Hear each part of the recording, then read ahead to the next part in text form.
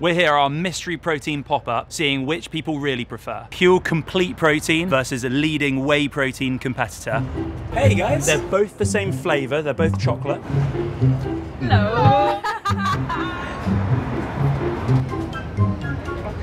Yeah, this one. Oh my god, that's so nice. I definitely prefer the white one. Definitely the white one. Sweeter and thicker. It's creamier. Quite nutty. Feels like it would be a bit more filling. Tastes good. I like that it makes you feel like you're drinking something that is kind of naughty but feels like good. So the one you prefer there is actually a vegan protein shake. Oh, amazing.